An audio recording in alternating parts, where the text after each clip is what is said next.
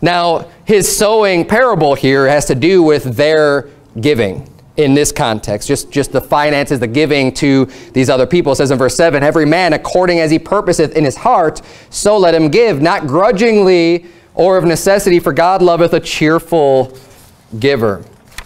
And God is able to make all grace abound toward you, that ye, always having all sufficiency in all things, may abound to every good work. As it is written, He hath dispersed abroad, He hath given to the poor his righteousness remaineth forever. Now he that ministereth seed to the sower, both minister bread for your food, and multiply your seed sown, and increase the fruits of your righteousness. Being enriched in everything to all bountifulness, which causeth through us thanksgiving to God, for the administration of this service not only supplieth the want of the saints, but is abundant also by many thanksgivings unto God. Whilst by the experiment of this ministration, they glorify God for your professed subjection unto the gospel of Christ and for your liberal distribution unto them and unto all men, and by their prayer for you, which long after you for the exceeding grace of God in you. Thanks be unto God for his unspeakable gift. Now, I want to make a couple of points here. One, I'm not preaching this because I think that like you all need to give more to the church because this has nothing to do with that's not why this subject coming up at all. This is just a virtue to have about being liberal. This is not I'm not preaching on tithing, I'm not preaching anything like that. It has more way more to do with your personal interactions just with other people in general. Especially with the brethren, but just other people in general and just how you kind of view your own goods and your own life and, and the way that you manage your own resources and the, and, the, and the type of person, if you could be looked at as a generous person or someone who's real stingy and tight and not allowing anything, right? And the Bible's talking about here that the, the liberal spirit, the liberal attitude being more free and, and the liberal distribution is going to go very far. It's a good attribute to have to, to be very free and open with your goods and with your stuff, especially when people have need to help them out in their times of need. And to not even give it a second thought and not worry about it.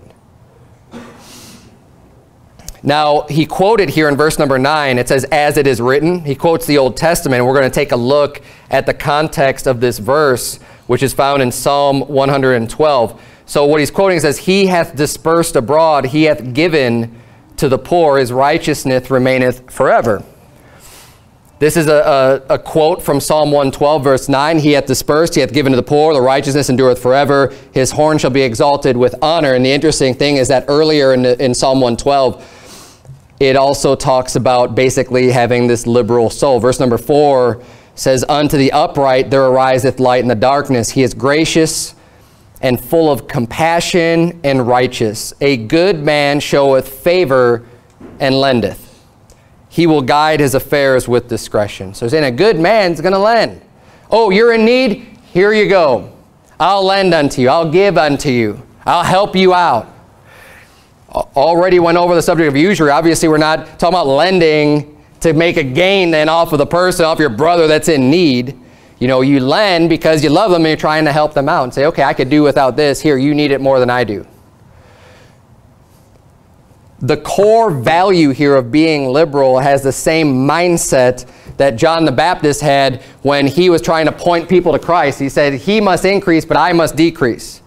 It's the same attitude that says, I'm going to esteem others better than myself, as it says in Philippians chapter 3. It's the same mind that was in Christ. Christ came to be a servant not to be ministered unto. He came to minister. He came to help other people out. He came and spent his time and devoted his resources into helping other people. And this is the mindset that we ought to have.